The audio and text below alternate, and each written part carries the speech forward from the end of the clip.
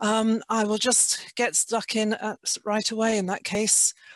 I quote, I've lately heard there's nothing finer than the Isle of Arran, memoir of a sketching trip circa 1850. My paper today is based around ongoing research that I'm doing into documents in the archives of the Royal Scottish Academy. Purely by chance, part of this has an Arran connection, and this is what I've decided to share or I've been allowed to share with you this afternoon. At the moment, I'm midway through my research and like so many other people, it's got a bit stymied thanks to the restrictions because of the pandemic. And I am still searching for sketches of Arran by the artists whom you're about to meet. In 1904, at the end of a very long and productive career, the painter James Archer presented a small collection of items from his personal library to the Royal Scottish Academy. Among them were two notebooks described as extended minutes of a sketching club established in Edinburgh in 1848. Although the books are anonymous and bear no dates, the author is identified as the donor, James Archer. His text takes the form of a play in a succession of six acts per notebook. Written in black ink with some pencil additions, it is mostly in unrhymed verse, although there is a bit of doggerel as well.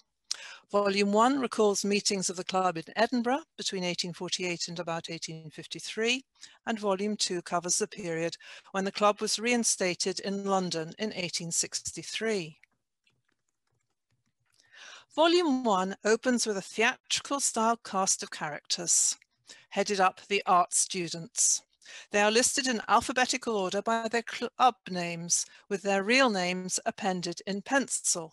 We read Anson, James Archer, Butterworth, John Ballantyne, Crichton, William Crawford, Davidson, William Fettes Douglas, John Finlay, John Faed, and Tom Finlay, John's wee brother, Thomas Faed.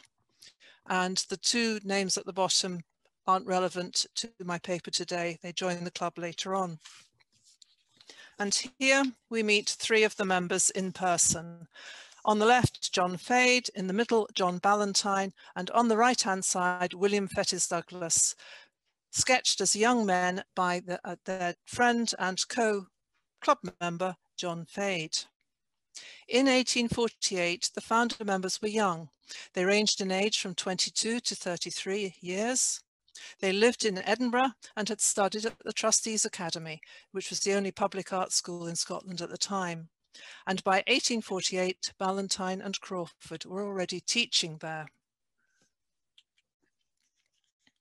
And here we meet Crawford and John Faed, but slightly later in life. I'm afraid no, no pictures available of them as young men. These men were also beginning to exhibit in the RSA annual exhibitions. Ballantyne and Faed were already associates of the RSA and the rest would follow suit between 1850 and 1860. Thus, we meet six young men early in their careers and keen for self-improvement. They founded the Smashers Club in 1848 to address this ambition, and its premise was simple. Each member of the club would take a turn to host a meeting during which the artists produced sketches on a given theme and then critiqued each other's work. Afterwards, they dined well, took plenty of refreshment, and engaged in lively discussion, banter, and song. Towards the end of the first act in this memoir, plans are made to break from the established routine. Summer is approaching and the end of the season. Archer proffers a toast. Here's the doggerel.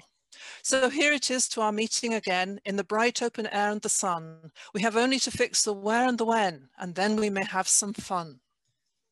And William Douglas, that is Douglas suggests, I have lately heard from one who has been there that of all the places that are not too far, there's nothing finer than the Isle of Arran. William Crawford agrees.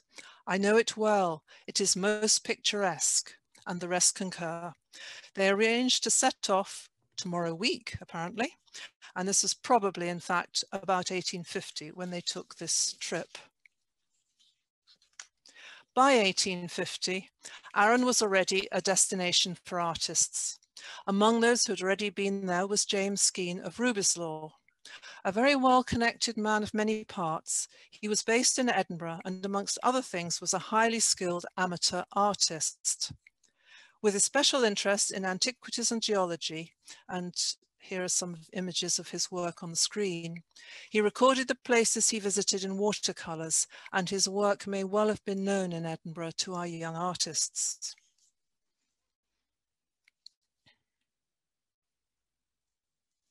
Horatio McCulloch, on the other hand, was the trained and successful artist specialising in landscape.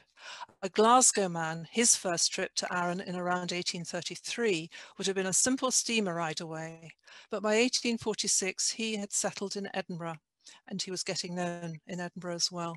He exhibited Arran paintings in the RSA annual exhibitions in 1833 and 1846 and our artists will almost certainly have seen his work and may well have encountered him personally.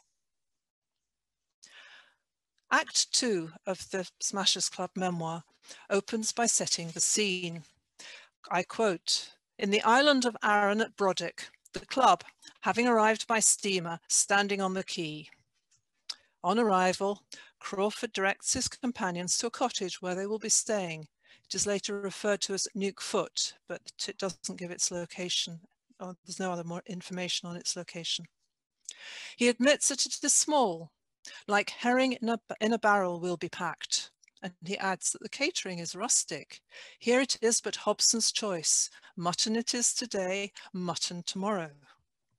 Anyway, they settle in and that evening the group takes a walk to Glen Rosa to select their sketching sites for the following day.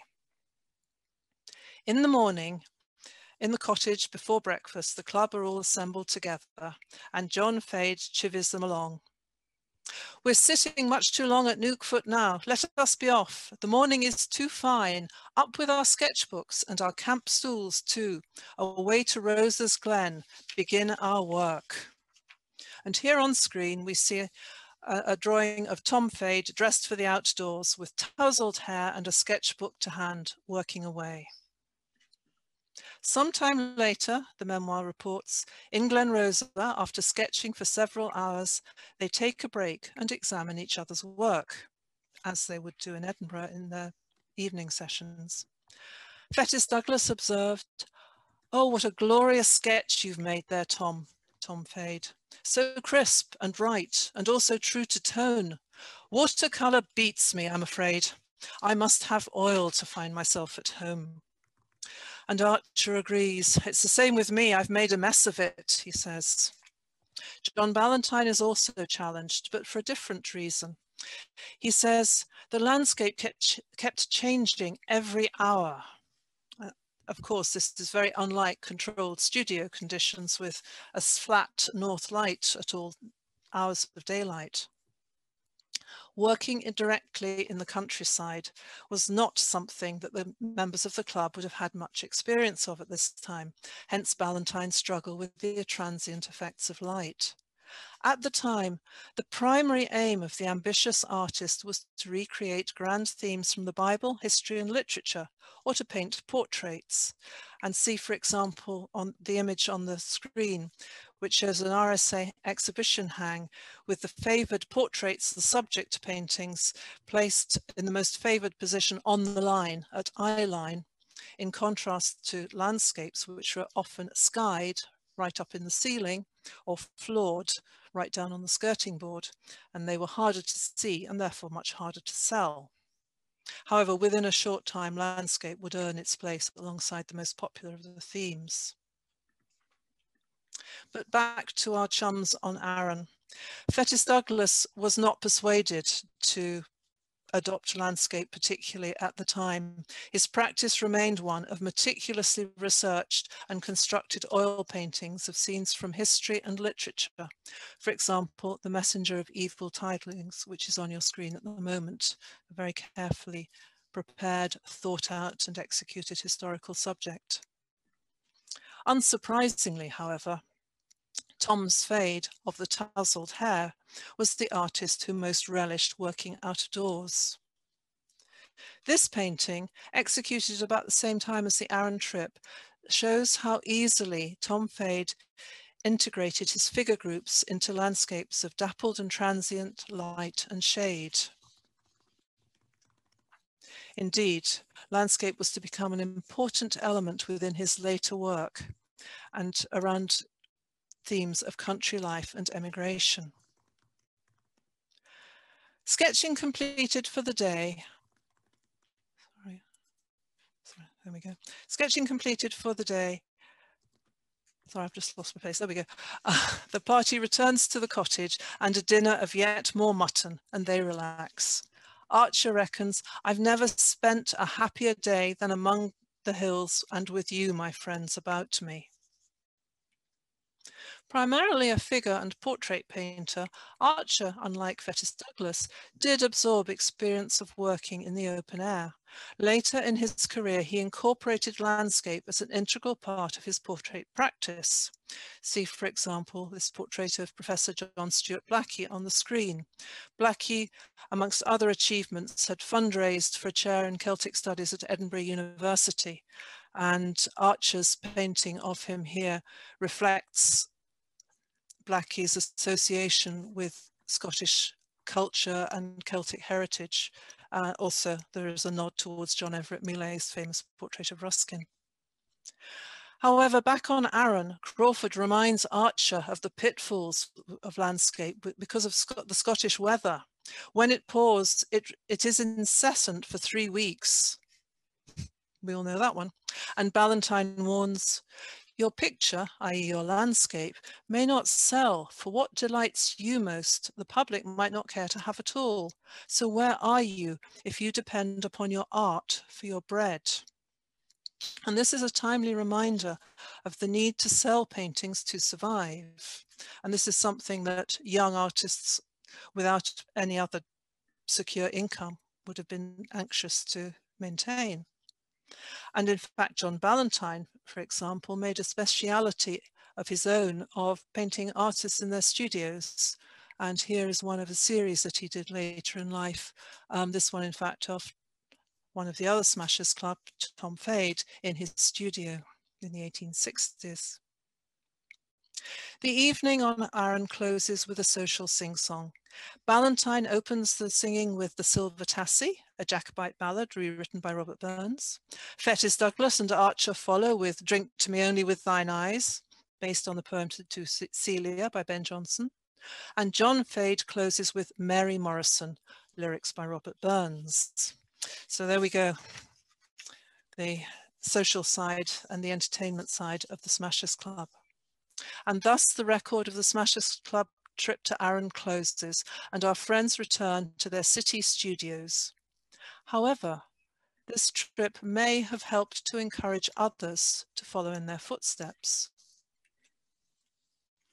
Among the artists following on the heels of the Smashers Club was the Edinburgh-based painter Waller Hugh Paton. He worked on Arran and from just 1855, just five years later, he exhibited a substantial series of Arran landscapes of which, which this fine Lamlash Bay one is, is one example. And I would just like to close at this point um, and let you enjoy this, this painting. And I do apologize for the hiccups at the beginning and a bit of a gallop through this afternoon's paper as a result. Thank you for your patience.